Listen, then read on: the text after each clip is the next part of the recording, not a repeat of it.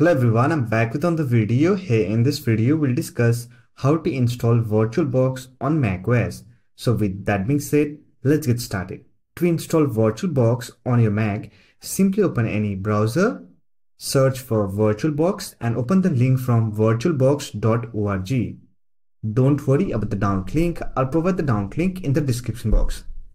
Now here, simply click on download option and here you will get the option to download VirtualBox for your macOS.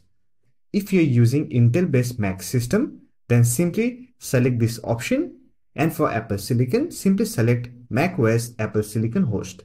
And here simply click on allow to download the VirtualBox installer file. Here you can see it is downloading. It is around 132 MB. So let me complete the download process. Once the download is complete, simply open this file. Here, simply double click on virtualbox.package file. So here we have the installation window for VirtualBox.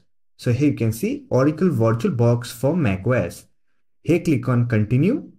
Now simply select install for all user for this computer. Then click on continue.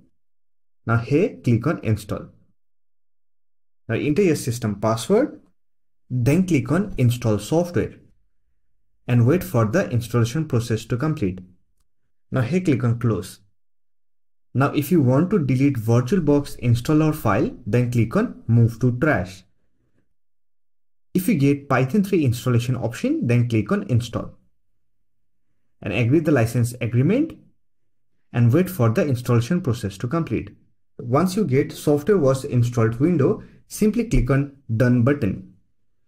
Now to open it, simply click on Launchpad and here look for VirtualBox. So here we have the VirtualBox application. Simply open it.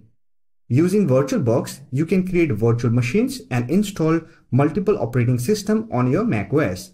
So that's it. This is how you can install VirtualBox on macOS. I hope this video was helpful to you. If you found this video helpful, don't forget to hit that like button and subscribe the channel for more videos like this. Bye for now. See you next video.